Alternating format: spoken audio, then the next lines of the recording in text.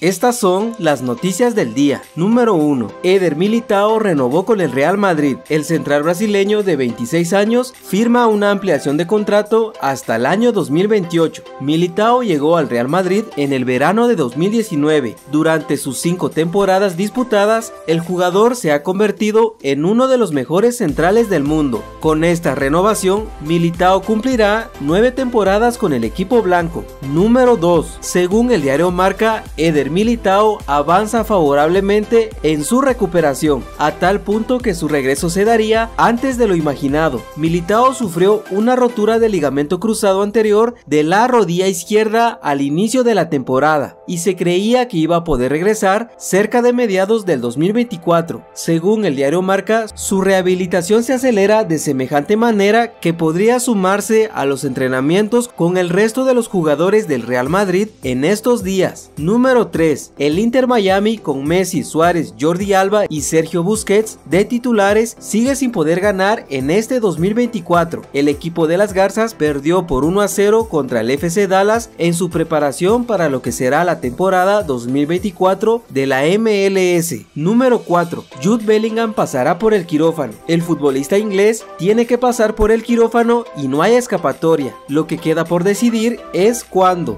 Bellingham cayó lesionado en el hombro con una luxación jugando ante el Rayo Vallecano. Desde entonces sigue jugando con molestias y con el riesgo de agrandar la relevancia de su lesión. Los médicos han decidido que la única manera de resolver sus problemas es con una intervención quirúrgica. El Real Madrid han acordado con el jugador que retrase la operación hasta después de acabar la temporada con el Real Madrid y disputar este verano la Eurocopa con la selección de Inglaterra. Hasta entonces seguirá jugando con una protección. Número 5. El Liverpool confirmó que Mohamed Salah regresó al club tras haberse lesionado con la selección de Egipto. El delantero tuvo que salir de cambio antes de acabar el primer tiempo en el duelo frente a Ghana correspondiente a la segunda jornada del grupo B. Salah regresará a Liverpool para ser tratado de su lesión. Número 6. Arturo Vidal vuelve al fútbol chileno. El futbolista llegará a reforzar al Colo Colo, club donde empezó su carrera. A sus 36 años y habiendo pasado por clubes como Juventus, Bayern Múnich o Barcelona, el Rey Arturo está de vuelta.